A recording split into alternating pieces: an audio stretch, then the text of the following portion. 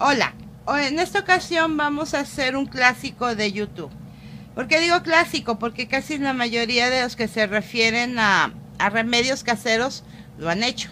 Y yo no lo había hecho y ahorita sí tengo la necesidad de hacerlo. Bueno, vamos a hacer lo que se conoce como un desodorante casero. Nada más que aquí vamos a, vamos a tener una variación. De todos modos vamos a ponerle eh, fécula de maíz o en otros lugares se conoce como la marca maicena, pero es una marca, ¿verdad? Pero en cualquier lugar podemos encontrar fécula de maíz. Vamos a usar el baking soda, que como todos sabemos es bicarbonato de sodio, que aquí ya lo tengo, aceite de coco, que ya lo tengo en este frasquito, y lo que le vamos a agregar es una cápsula de vitamina E que es lo que nos sirve para hidratar y humectar este la piel. Y yo no tengo aceites esenciales. Podrían poner ustedes aceites esenciales. Yo lo que voy a utilizar es el jugo de medio limón, que ya lo tengo aquí partido, recién partido. Y aquí en mi bol tengo una cucharada. No, en este caso voy a utilizar taza, no voy a usar cucharada. En esta ocasión vamos a usar tazas. Aquí ya tengo un cuarto de taza de fécula de maíz. Perdón. Acá ya tengo medido un cuarto de taza de bicarbonato de sodio, que es el que vamos a, vaciar. Vamos a, a revolver nuestra mezcla. Me van a decir, porque ya me lo han dicho, que por qué uso cucharitas tan chiquitas y puedo usar cucharas más grandes. Para mí es práctico, nada más no, no necesito una cucharota grande para hacer revolturas. Bueno, este, vamos a agregar el jugo de, limón. En este caso vamos a ponerle medio limón. Pueden agregarle unas gotitas. Aquí va a ser algo de efervescencia por la por el, por el bicarbonato de sodio. El limón que nos sirve, aparte que es un antibacterial, ¿verdad? Este también nos sirve para, vamos a aprovechar y vamos a, a prepararlo para, para aclarar áreas. Acuérdense que el limón también nos sirve para blanquear. Claro que cuando lo usamos, eh, limón, muchas veces lo usamos este para blanquear, pues, lo, lo, que recomiendan es que sea de noche, porque el limón es contraproducente con el sol, nos quema. Pero en este caso es desodorante, entonces no tiene nada que ver si le echamos limón y nos ponemos a cualquier hora del día. Vamos a utilizar una cápsula de vitamina E, sobre todo para, para que hidrate y no sea tan, tan corrosiva la, la, la, tan abrasiva por la cuestión del bicarbonato. El bicarbonato recuerden que es muy abrasivo. Vamos a ponerle una nada más que nos va a ayudar a, hidratar la piel.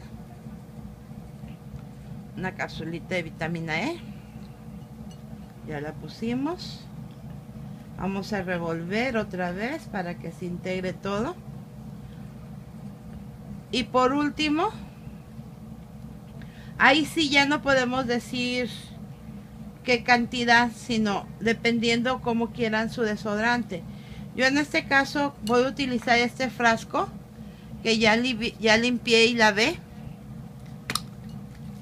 Ay, perdón, ya se cayó acá adentro. Eh, este frasco que ya limpié y lavé eh, para poner mi desodorante.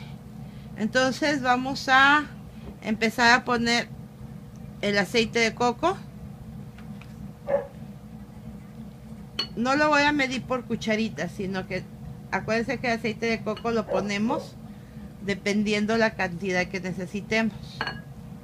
Como puede ser dos, tres cucharitas, como puede ser este más. Si se dan cuenta, dependiendo cómo queremos nuestra consistencia, es lo que le vamos a poner de aceite de coco. Si se dan cuenta, se me hace que con lo que le puse va a tener. No, se hace que vamos a ponerle otro poquito más. El aceite de coco, acuérdense que también tiene muchos, muchos beneficios para la piel, para el cabello. Lo podemos ingerir también para nuestros... Podemos comerlo, sobre todo si es el aceite Siempre hay que procurar que el aceite de coco sea 100% orgánico. Y podemos comprar el que se digiere para que también nos sirva para nuestras comidas. Si se dan cuenta, creo que vamos a ponerle nada más un poquitito más. No necesito, porque sí necesitamos que se compacte un poco más la, la, la, la fórmula aquí. Vamos a ponerle nada más un poquitito más. Ay, ese problema con el aceite de coco, que por todos lados se nos, se nos riega. Bueno, entonces seguimos revolviendo. Y yo necesito una pastita compacta para poderlo, para poderlo meter en mi frasco de desodorante. Y a la vez que con el calor no se me vaya a hacer líquida la, la pasta. Entonces, por eso no, no puedo ponerle mucha mucho aceite de coco. En el lugar donde yo vivo hace demasiado calor, todavía en este tiempo, hace demasiado calor. Y vamos a probar esta este desodorante casero. Creo que ya con esto tenemos. Si se dan cuenta la consistencia es de pasta. Me gusta cómo, cómo está la consistencia. No podemos hacerla muy líquida porque yo necesito que se compacta. Y parece que sí, miren. Parece una consistencia como de puré de, de papa. Entonces vamos a agregarle nada más un poquito más. Uy, espero que no haya sido mucho. Un poquito más. Perdón. Entonces, aquí ya tenemos nuestra pasta. Creo que ahora sí ya. Es que lo que quería es que le, agregué un poco más de, de aceite de coco para hacerla más compacta. Pero no la queremos líquida, ¿sí? No queremos una consistencia líquida, miren. Tiene una consistencia como si fuera puré de papa. Entonces ya tenemos aquí nuestro nuestro mm, frasquito en donde lo vamos a poner. Y vamos a ir voy a subir la la parte de abajo para como vayamos llenando se vaya compactando la, fórmula. Entonces vamos a ponerlo aquí.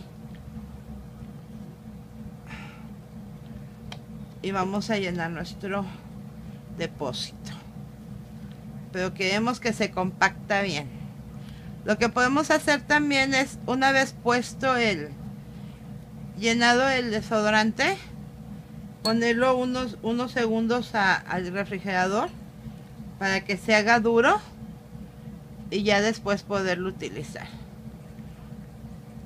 Esto no necesita refrigeración, pero como les digo, más bien el refrigerador es para, para que se compacta la, la, la fórmula, se compacta más la pasta. Si se dan cuenta, así vamos a estar llenándolo, miren, si se hace bonito si, si baja. Vamos a bajarle todo. Vamos a seguir llenando nuestro frasco. Porque todavía le queda mucho espacio. Se siente muy bien. Se ve muy bien la pasta.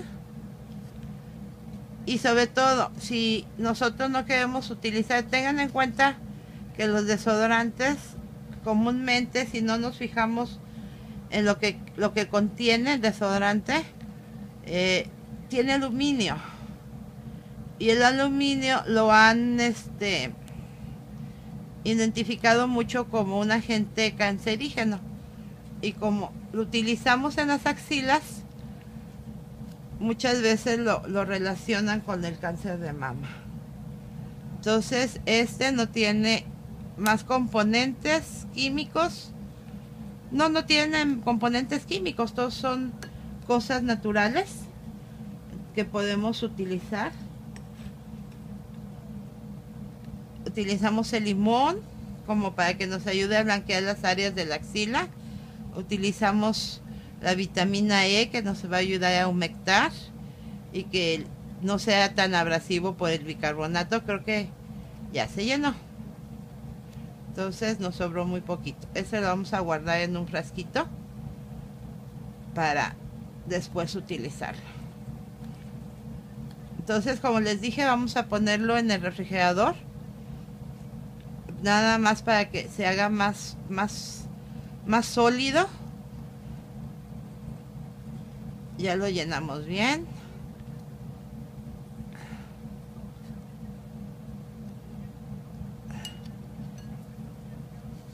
Parece que ya se, ahora sí ya se llenó bien. Entonces, esto sería nuestro desodorante. Ahí, ahí ven cómo se compactó muy bien. Baja y sube muy bien. Entonces, eso va a ser todo. Muchas gracias por ver el video. Y espero que sea de su agrado. Hasta luego.